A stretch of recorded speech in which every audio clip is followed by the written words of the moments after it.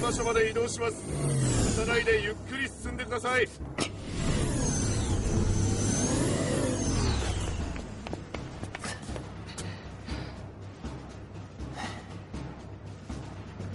政府はファルシンの言いなりだ。狙いはルシュだけじゃない。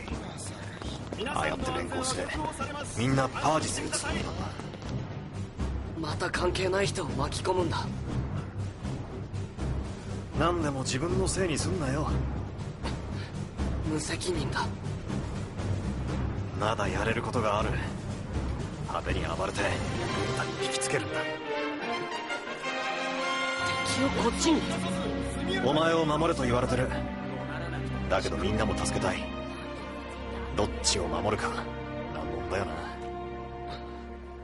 バカ野郎には解けねえや。無理は承知で両方守る。に悪いけど付き合ってくれねえかな。お前は自分の身を守ってればいいから。